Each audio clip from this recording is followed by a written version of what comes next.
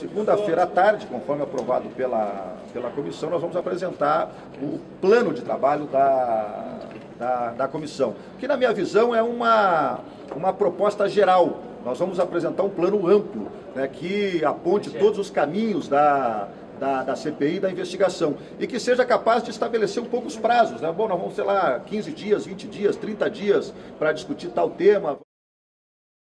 Eu acho que uma CPI como esta, ah, ela não pode prescindir da quebra de sigilos bancários né, fiscais, telefônicos. Isso faz parte do processo de investigação. A própria Polícia Federal já o fez né, em muitos casos. Nós vamos requerer todos os documentos, todas as investigações que tenham sido feitas pela Polícia Federal, pelo Tribunal de Contas da União, pela, pelo Ministério Público Federal ou Estadual, ou seja, qualquer investigação que neste momento esteja em andamento, ela será requerida para que nós possamos aqui também ter acesso a estes documentos.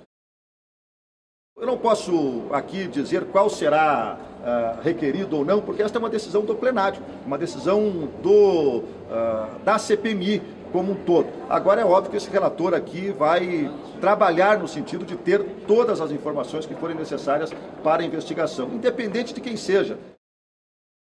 Uma CPI não respeita recesso.